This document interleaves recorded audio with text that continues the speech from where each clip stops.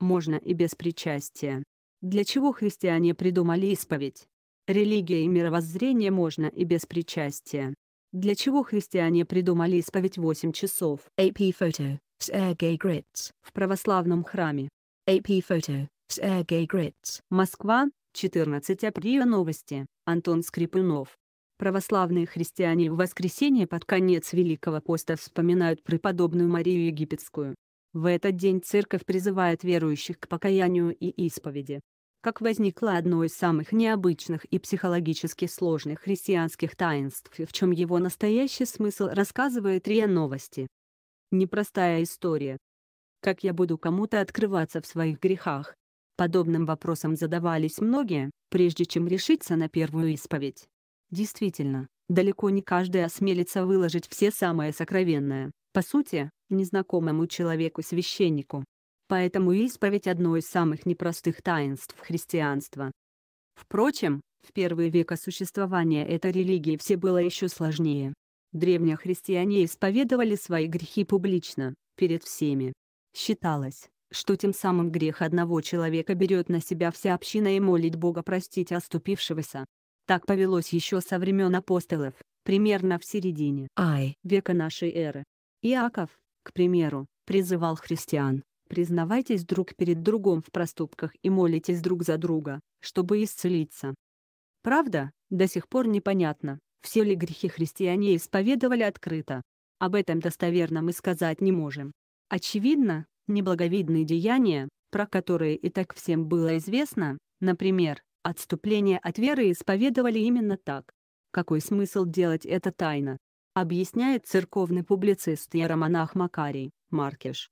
9 июня 2018 года, 08 двоеточие 00 Религия и мировоззрение скажу полиции. Что заставит священника раскрыть тайну исповеди, но постепенно практика публичной исповеди с общей молитвой за согрешившего сошла на нет. Известно, например, что святитель Василий Великий, живший во второй половине Four. века, ввел практику тайной исповеди для неверных жен. Дело в том, что в Византии мужья обычно убивали изменниц и по закону их за это не преследовали. Однако и после нововведения в каждой общине таинство исповеди проходило по-своему и никакого единообразия в этом вопросе не было. Таинство покаяния, в нынешнем виде, примечание редакторов, оформилось в 17. веке. Прежде были какие-то другие чины. Вероятно, история этого таинства была особенно непростой, отмечает ректор православного Свято-Тихоновского гуманитарного университета протеерей Владимир Воробьев новая жизнь. Между тем от переменной формы суть исповеди не меняется. Это институционализированное покаяние, говорит протеерей Максим Козлов, председатель учебного комитета Русской Православной Церкви. Причем в христианском смысле покаяние – это не просто сожаление о своих проступках, а изменение образа мышления. То есть покаявшийся должен полностью пересмотреть свои взгляды на жизнь, к этому как раз и призывает Церковь в День памяти преподобной Марии Египетской и предшествующий ему четверг, когда в храмах читают Великий Покаянный канон и ее житие. 11 марта 2018 года, 08 двоеточие 00 Религия и мировоззрение. Середина Великого Поста. Почему православные поклоняются древу жизни? Первая часть жития Марии Египетской свидетельствует о крайней степени падения, в ее случае блуде, отмечает отец Максим. Однако в какой-то момент она осознала всю глубину бездны, в которой оказалась, и на оставшиеся 47 лет жизни ушла в пустыню бороться со своими страстями. С этого начинается вторая часть ее жизнеописания. Это свидетельство того, что подвигом покаяния человек может из самой мерзостной пакости подняться с помощью Божьей и с решимостью пройти этот путь бескомпромиссно, подчеркивает протеерей. Ежедневный подвиг. Конечно, в современном мире христианам сложно последовать примеру Марии Египетской буквально, убежав на полвека в пустыню. Но существует и исповедь. Человек раскаивается в своих грехах и свидетельствует о том, что готов с ними бороться, а священник произносит над ним специальную разрешительную молитву. Священник нужен здесь неспроста. Он преемник апостолов, которым, согласно Евангелию, сам Иисус Христос дал власть отпускать грехи. Примите Духа Святого. Кому простите грехи, тому простятся, на ком оставите, на том останутся, приводит слова Спасителя евангелист Иоанн. 11 марта, 8 часов. В мясе ничего плохого нет. Когда и для чего установили Великий пост. То есть, согласно христианскому вероучению, грехи человеку прощает сам Бог, а священник служит здесь посредником. И, вопреки распространенному мнению, он не взвешивает грехи по степени тяжести, отмечает отец Макарий, Маркиш. Это делает Бог. Самый яркий пример распятый вместе с Христом разбойник, который был настоящим злодеем и убийцей, но в предсмертные минуты покаялся. И Господь сказал ему, «Ныне будешь со мной в раю».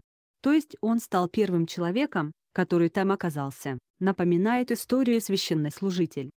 Однако это вовсе не значит, что для покаяния достаточно назвать при священнике тот или иной грех, а потом идти грешить дальше.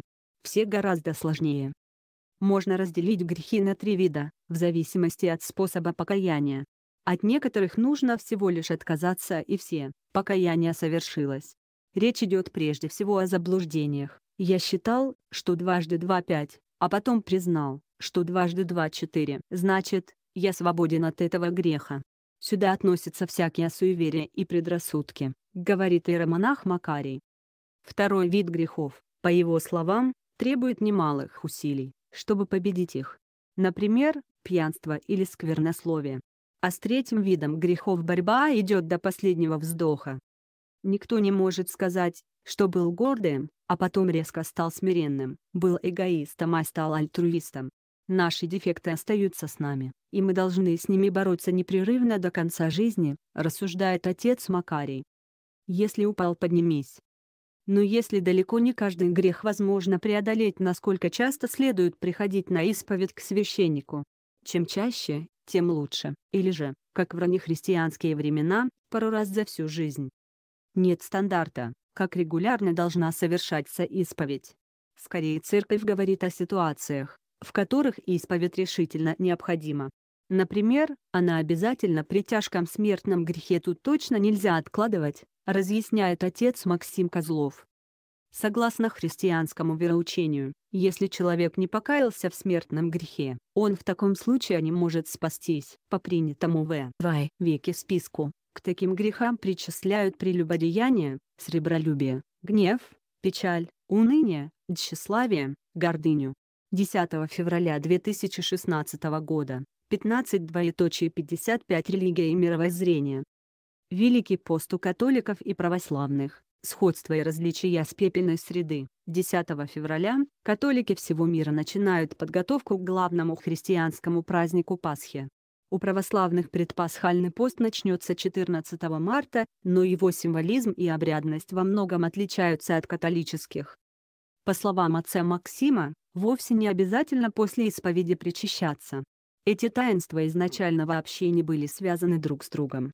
В Греции сегодня причащаются без предварительного покаяния. В русской церкви иная традиция. В русской православной церкви на протяжении долгого времени существует связь между исповедью и причастием. Это оправдано, потому что таинство исповеди помогает человеку избежать двойственных мыслей.